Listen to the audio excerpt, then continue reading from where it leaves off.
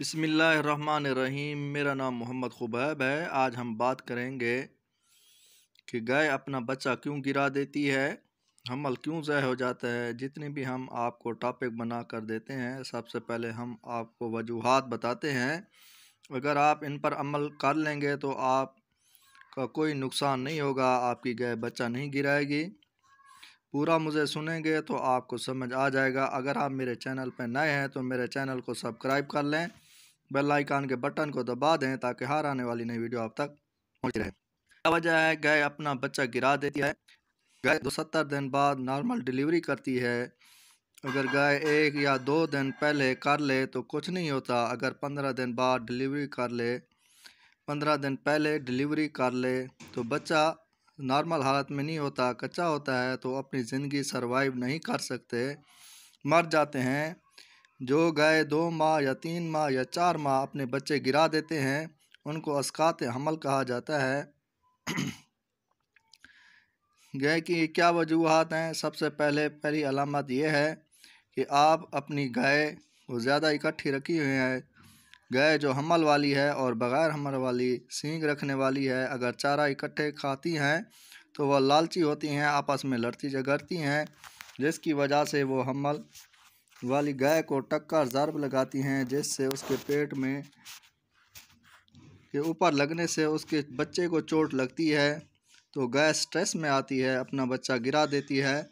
दूसरी अलामत यह है कि आपका ब्रीडर जो बैल रखा हुआ है, वो आपकी गाय को तंग कर रहा है। वो बार बार तंग करता है, जैसे वो जानवर हीट में आ जाता है।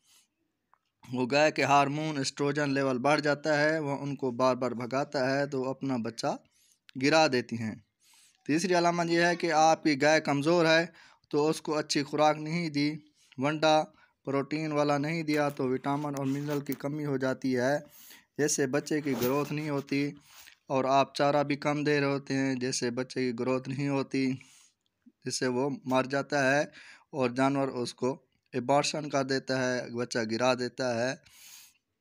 चौथी अलामत यह है कि गाय को बुखार, नज़ला, ज़ुकाम हो गया है तो आपने उसको कोई इंजेक्शन, स्टीराइड या हाई पोटेंसी इंजेक्शन लगा दिया जैसे वो जानवर स्ट्रेस में आ गया, वो अपना बच्चा गिरा देता है।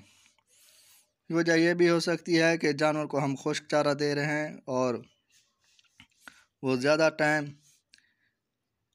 खुश्क चारा देते हैं जिससे जानवर को कब्ज़ हो जाती है, उससे भी जानवर बार बार पेट में दर्द होने की वजह से बच्चा गिरा देता है। और ये भी वजह हो सकती है कि जानवर की जगह जहाँ बांधने वाली है, जहाँ हम उनको रात को ठहराते हैं, अगर जगह खुश्क ना हो, वो जानवर ज़्यादा देर खड़ा रहता है। हमला गाय के लिए खड़ा रहना मुनासिब बात नहीं, जगह गीली और मुनासिब नहीं। तो जानवर को क्या हो जाता है? बुखार हो जाता है, जानवर की थकावट हो जाती है असाबी निज़ाम मुतासर हो, होगा वो स्ट्रेस में आ जाती है, जिससे वो अपना बच्चा गिरा देती है।